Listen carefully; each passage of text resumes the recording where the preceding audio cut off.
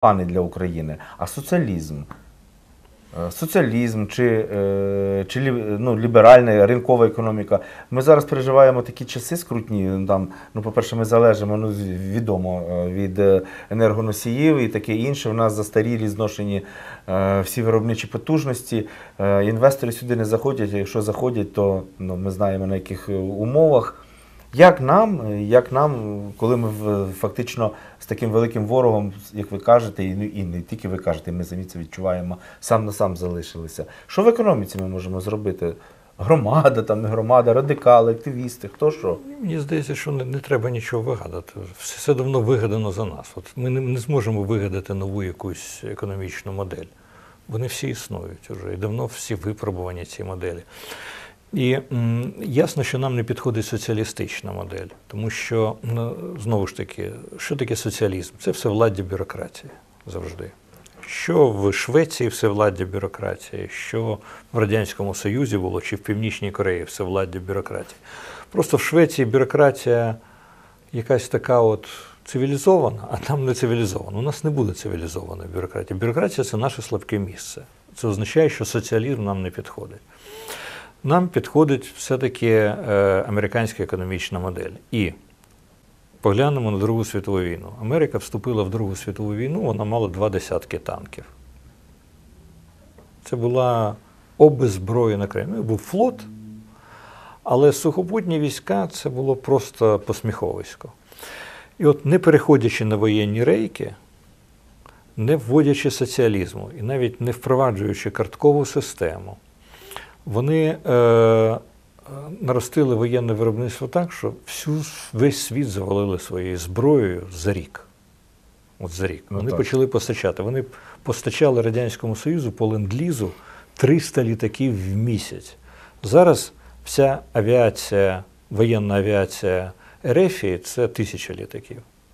В часи Другої світової війни американці отак от легко їм постачали тільки літаків 300 в місяць. Ну, не порівняти літак той і, і Ну, тоді літак. він кош, так само коштувало дорого. Мгм. Ну, це ж Ну так, да, на той, на той На- час на- це на був часи високотехнологічний і з доданою вартістю танки, автомобілі, локомотиви і все, що завгодно. Тобто виявилося, що ті країни, які, економіка яких стояла на воєнних рейках, от скажімо, Радянський Союз чи та сама Німеччина, хоча Німеччина значно менше, вони ніколи не змогли наростити того темпу воєнного виробництва, як країна, яка не стояла ні на яких воєнних рейках і не думала Це про просто був бізнес, так? Це просто бізнес і правильні підходи. Тобто, виявляється, так і зараз. У нас ви подивіться, що сталося, що навіть освоєння космосу це бізнес. Що виявилося, що НАСА, навіть в Штатах, НАСА неефективна структура, бюрократична. Ілон Маск зараз що- дихає що потилицю, да. м'яко кажучи. Що у Маска виходить швидше. Це наш шлях, мені здається. Українців погано виходить з соціалізмом. Нам треба побільше свободи і побільше можливості реалізовувати. Для цього, поза сумнівом, є багато стримуючих і неприємних моментів для приватної ініціативи тут в Україні, але все це ламається, все це можна ламати. І основна проблема в Україні це навіть не умови праці, не умови ведення бізнесу, навіть не відсутність кредиту. Тобто достатньої кількості грошей. бюрократії, так? Я думаю, що основна проблема у нас мало людей, готових брати на себе організацію процесу. Мгм. Їх мало скрізь. В уряді, в опозиції, на війні і в бізнесі так само мало.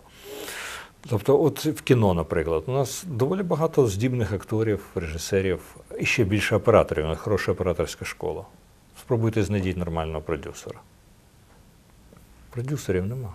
А що таке продюсер? Це та людина, яка організовує Це кінопроцес і бізнес, власне кажучи. Кінобізнес вона організує. У нас нема кінобізнесу не тому, що нема операторської школи, а тому, що нема кінобізнесменів. Тобто дуже мало людей скрізь, і ми з цим постійно стикаємося, які здатні от, з римською адміністративною жилкою таких, от, які прийдуть і зроблять, організують. В Штатах багато. Гарне, гарні приклади навели.